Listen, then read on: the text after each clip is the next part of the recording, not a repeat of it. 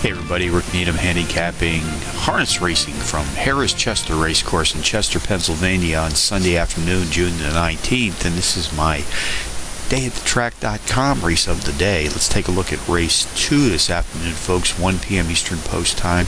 Today we have Pacers racing for a purse of $16,000. Contenders number 5, Mega Hall, number 6, El Cerrito, number 4, McMelody, and number 2, Coal Town, USA. Number 5, Mega Hall is the class profile leader in this pacing field this afternoon. Has hit the board in power run fashion in both of his last two starts, including a power run win in his second race back. Number 6, El Cerrito has hit the board in power run fashion in three straight, including back-to-back power run wins in his last two starts.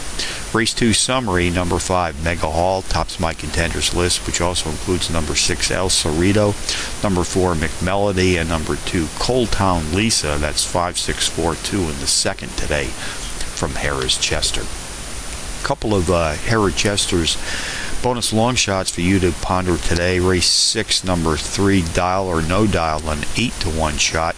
Both the overall speed and class profile leader in this pacing field this afternoon. Race 10, the 8 to 1 shot, number 5, Duchess Steelster. Qualifies as a Trackmaster Plus Power Pony as the class profile leader. Comes off a power run win in his last adventure. So handicapping from Harrah's Chester on a Sunday afternoon, Rick Needham for dayatthetrack.com, reminding you as always to please bet with your head, not over it.